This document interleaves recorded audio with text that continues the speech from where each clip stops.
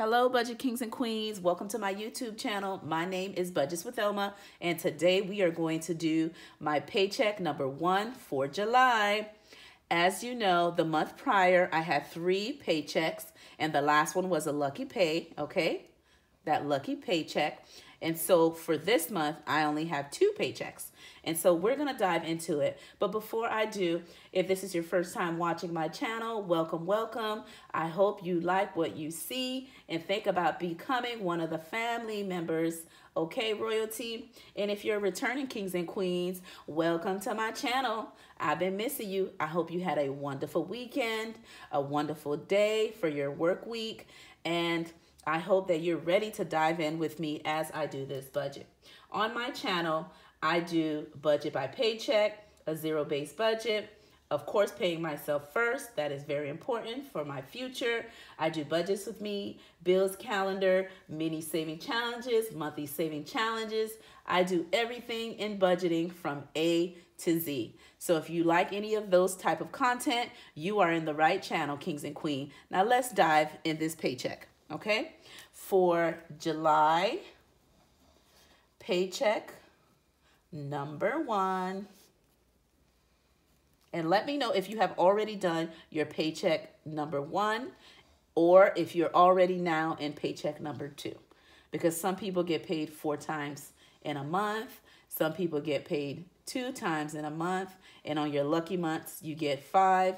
On your lucky months, you get three. Okay? So now let's dive into this paycheck.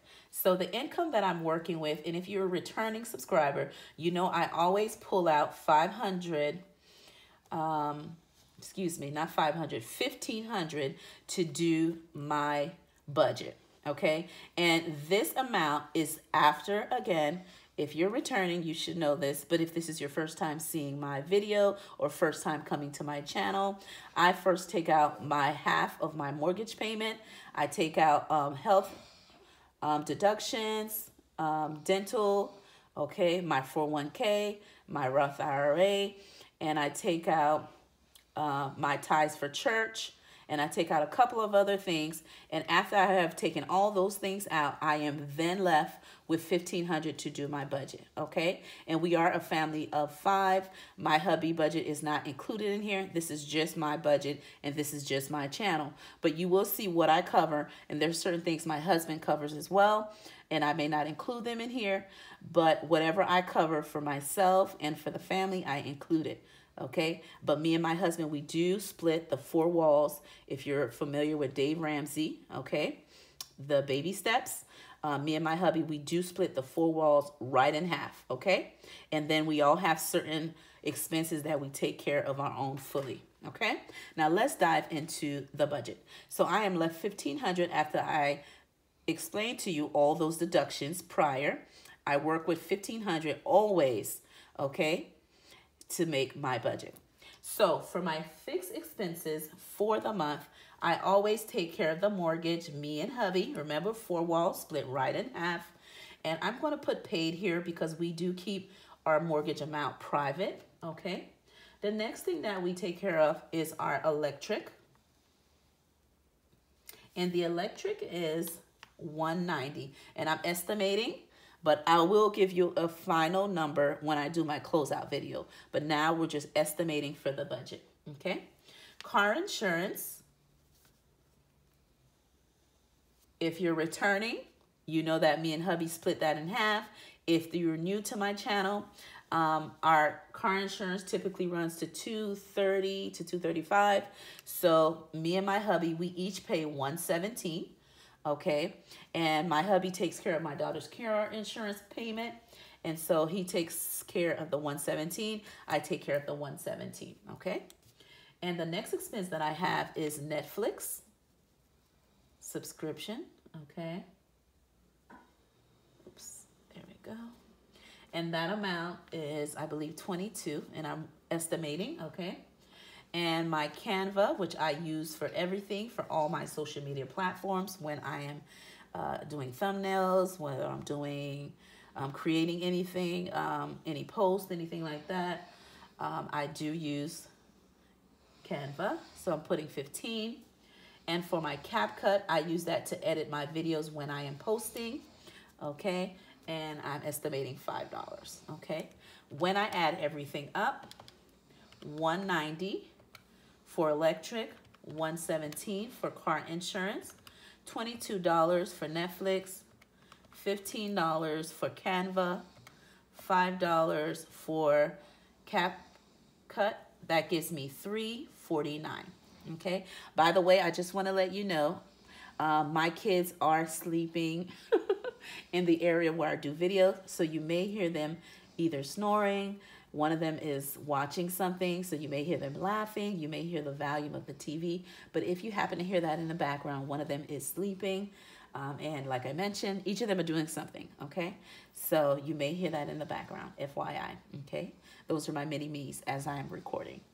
Okay, so for the fixed expenses, that total is 349 Now we're gonna move into my variable expenses, which are my cash envelopes, okay? I'm gonna put that here cash envelopes. And let me know in the comment below what categories do you have for your variable expenses.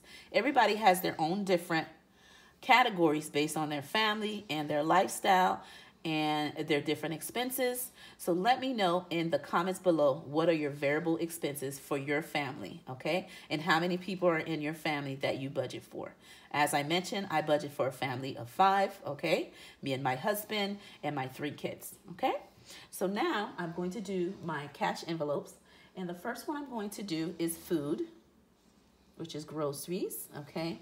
And I'm estimating $200 because it's summertime and I know I'm spending more on groceries.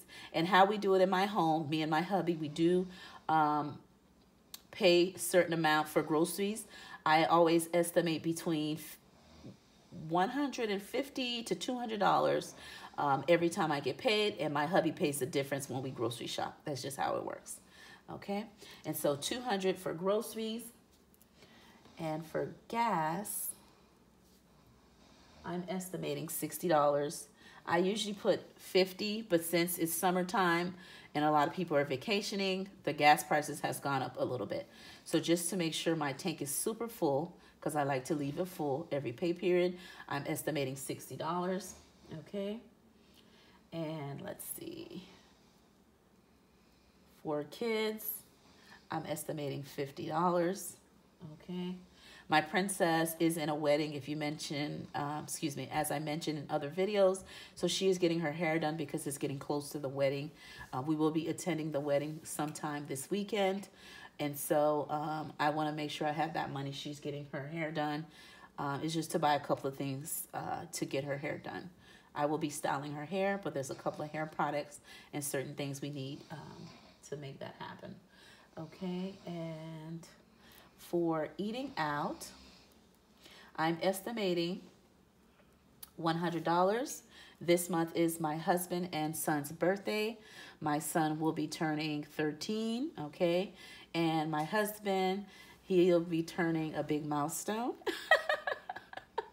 Because he's looking at me like, don't be telling my age. Okay, I won't, baby.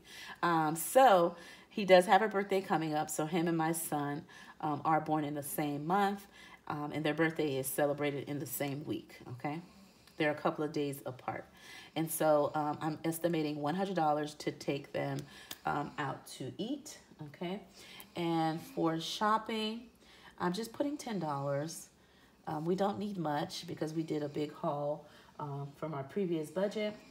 And let's see, for home, okay, slash household, okay, or toiletries, okay? I'm estimating 10 because like I mentioned, we did a big haul and we don't really need much. And for personal, I'm just gonna add 10, okay? I don't need anything as well. Okay, so let's calculate everything. $200 for groceries, $60 for gas, $50 for kids, which is just my princess. My son is all good. Um, $100 for eating out. And let's see, 10, 10, 10 plus 30. That gives me a, uh, excuse me, 440 for our variable expenses, okay? The next one I'm going to do is our savings, okay? Paying ourselves first, okay? Which is one of my favorites.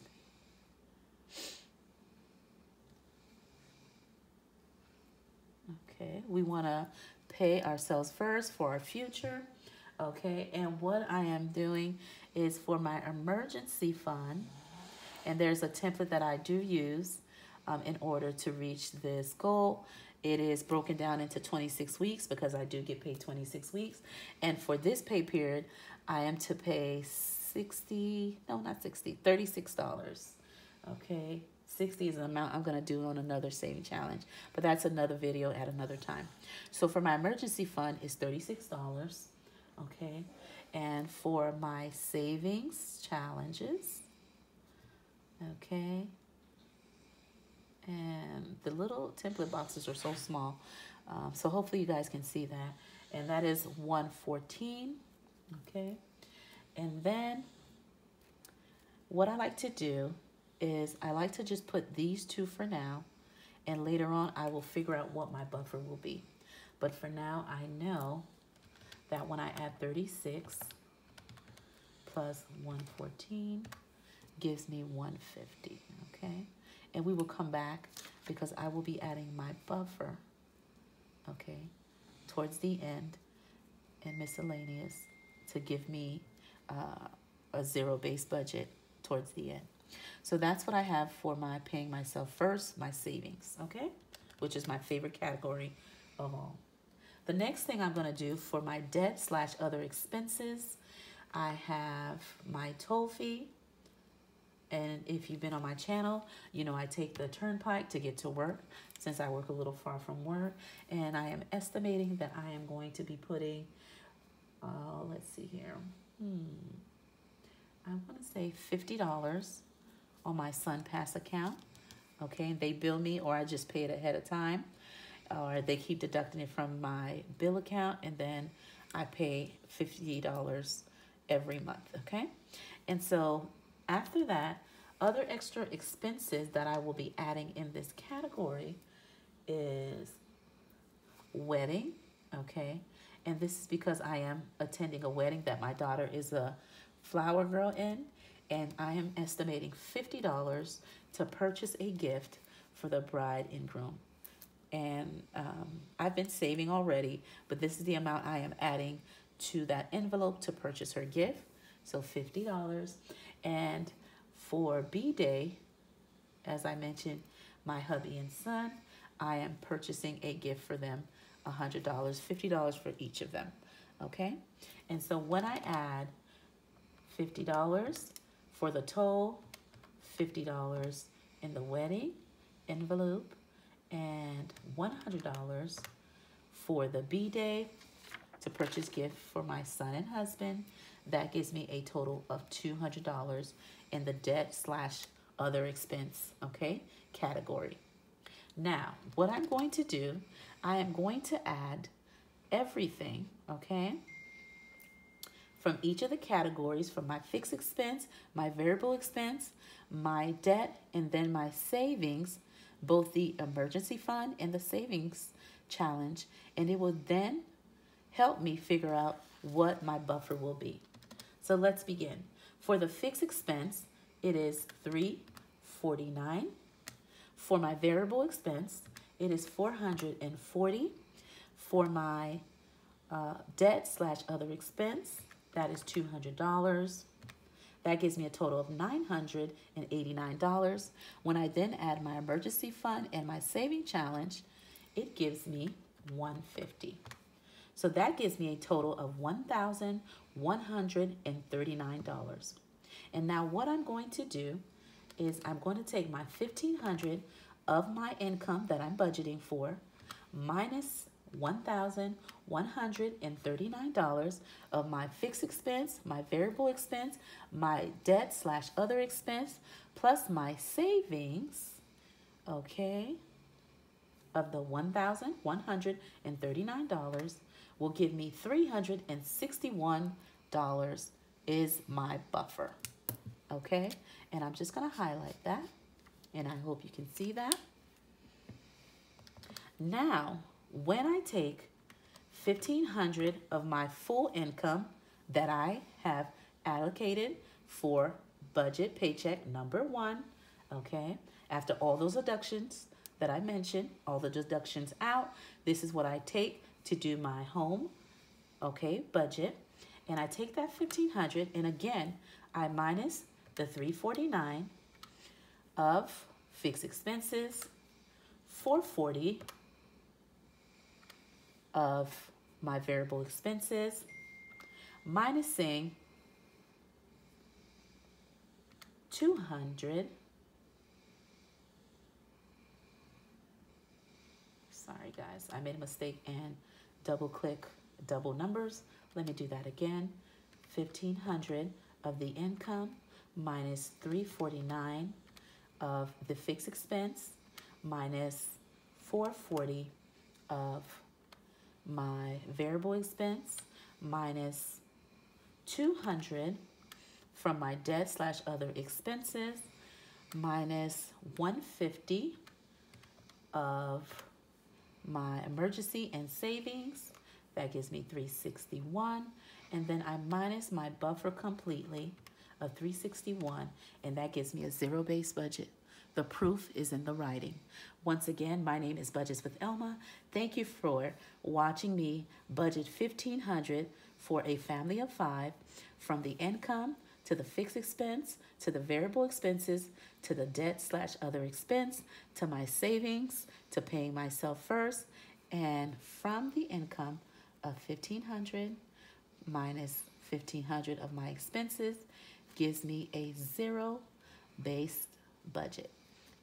All right, my name is Elma, and thank you for watching my video. In the comments below, let me know how often do you budget and what type of budget method do you use to budget for yourself and your family. With that being said, have a nice day and I'll see you on my next video.